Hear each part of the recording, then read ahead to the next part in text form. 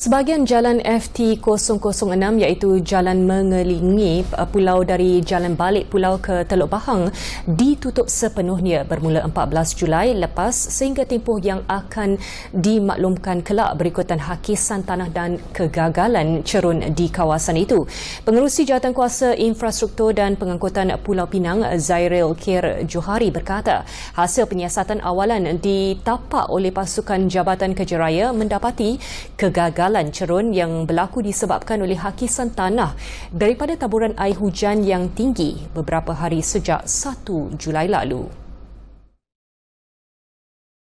Bencana kegagalan cerun berlaku di laluan FT006 Seksyen 46.80 di balik pulau pada 7.15 pagi 1 Julai dan pihak JKR mengambil langkah-langkah segera iaitu meliputi kerja pemasangan kanvas, pemasangan peralatan pengurusan trafik dan pengumpulan data.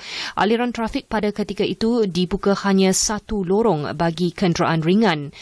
Bagaimanapun, ekoran kegagalan cerun kali kedua di laluan FT006 Seksyen 45.40 pada 10 Julai, maka pihak JKR mengeluarkan notis penutupan sebahagian jalan FT006 dari Jalan Balik Pulau ke Teluk Bahang sepenuhnya. Beliau berkata oleh sebab jalan itu merupakan jalan persekutuan, maka permohonan segera dibuat kepada cawangan kejuruteraan cerun JKR Malaysia dan kelulusan keputusan diterima untuk kerja-kerja pembaikan di laluan FT006 Seksyen 45.40 dan Seksyen 46.80 dengan jumlah peruntukan 1.7 juta ringgit.